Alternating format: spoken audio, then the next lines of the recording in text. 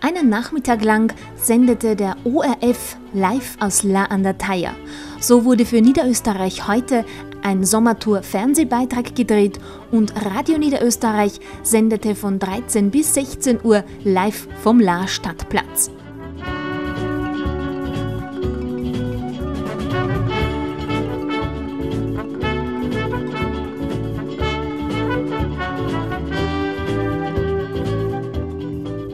Neben vielen Interviews musste La unter anderem auch eine Stadtaufgabe bewältigen, die mit dem Thema Zwiebelschneiden zu tun hatte.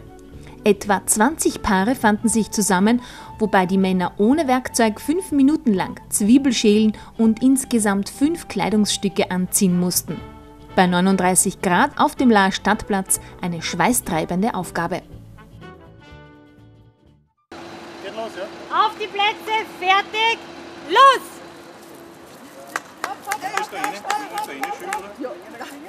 leider nicht. Sonst muss das einschießen.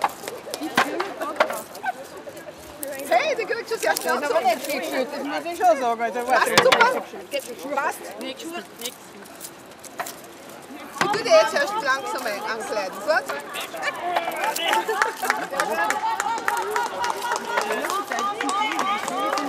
Oh, oh, oh.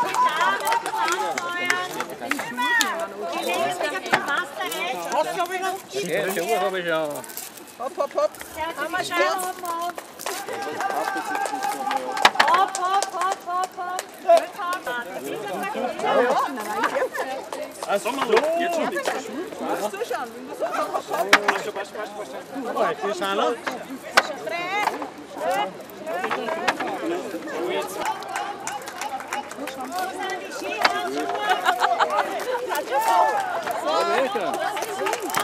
noch. Der hat schon wieder dann.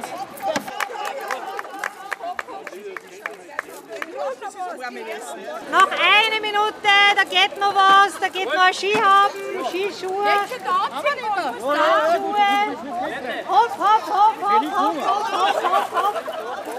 Hopp, hopp, hopp,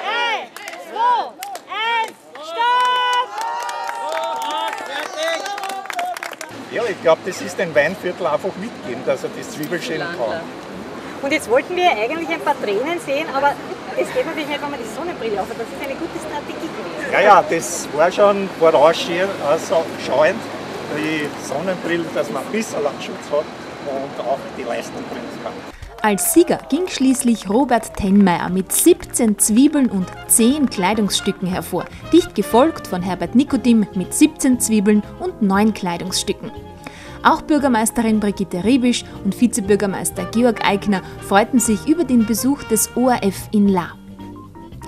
Wer den Niederösterreich heute Fernsehbeitrag zur Sommertour aus La an der Thaya verpasst hat, hat noch die Möglichkeit, ihn in der ORF TV-Thek vom Donnerstag, 6. August unter Niederösterreich heute anzusehen.